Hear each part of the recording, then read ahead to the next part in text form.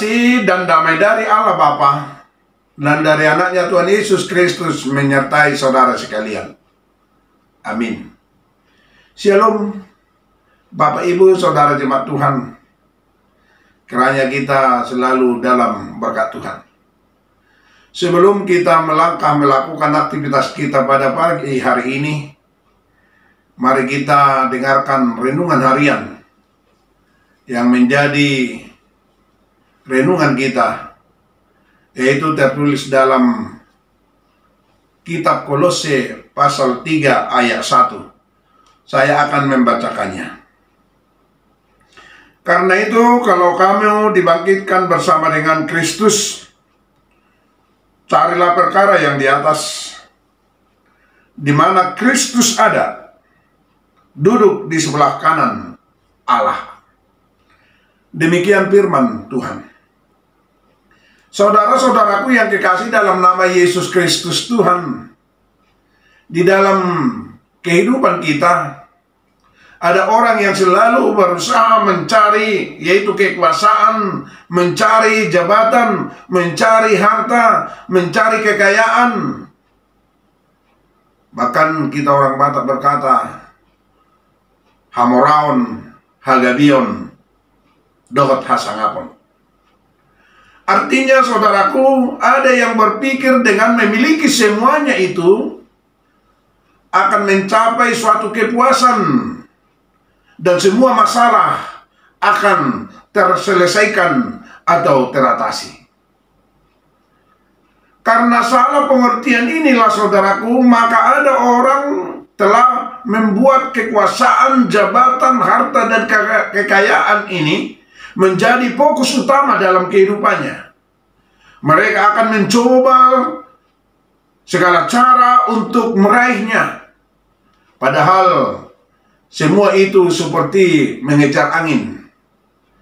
Kepuasan tidak didapat, malah mereka dalam kekelaman serta dosa. Saudaraku yang kekasih, hal ini bukan berarti bahwa Tuhan tidak mengendaki kita menjadi sukses dan kaya, terhormat, dan mempunyai jabatan di dunia ini. Tidaklah saudaraku. Yang perlu kita ketahui bahwa Tuhanlah yang dapat membuat seseorang memiliki kemampuan dan kekuatan untuk menjadi kaya dan berkuasa. Dapat kita lihat dalam kitab ulangan pasal 8 ayat 18 dikatakan di sana. Tetapi haruslah engkau ingat kepada Tuhan Allahmu Sebab dialah yang memberikan kepada kamu kekuatan untuk memperoleh kekayaan. Kekuatan untuk memperoleh kekayaan dengan maksud meneguhkan perjanjian yang dikarenakannya dengan sumpah kepada nenek moyangmu. Seperti sekarang ini.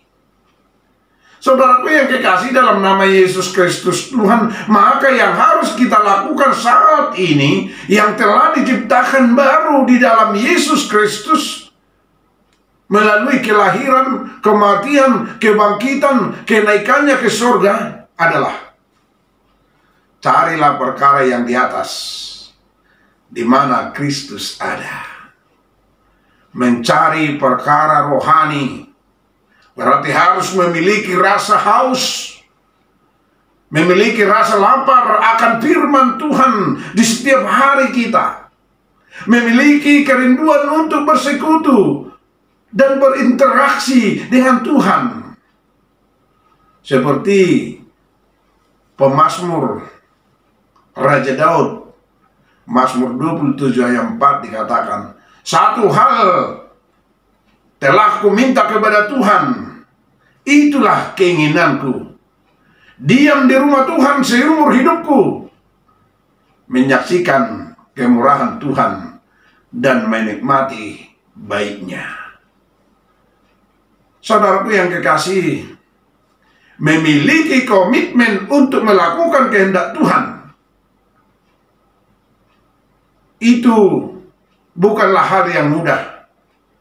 Karena ada banyak tantangan dan yang akan menghadang kita.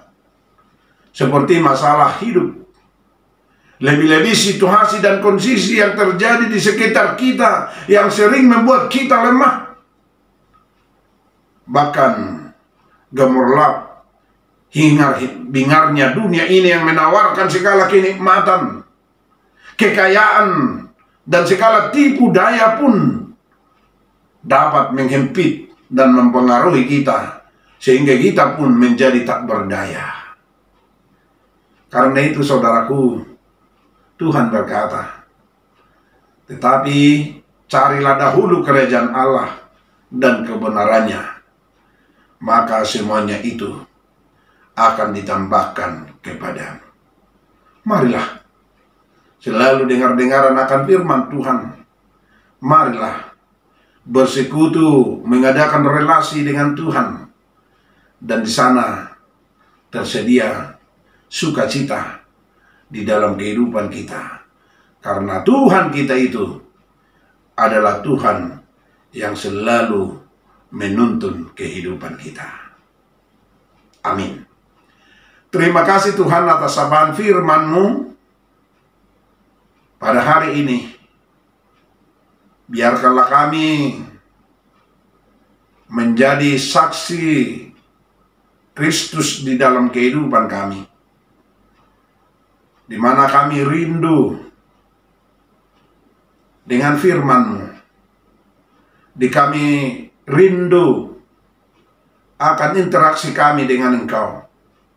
Di kami rindu bersekutu dengan Engkau.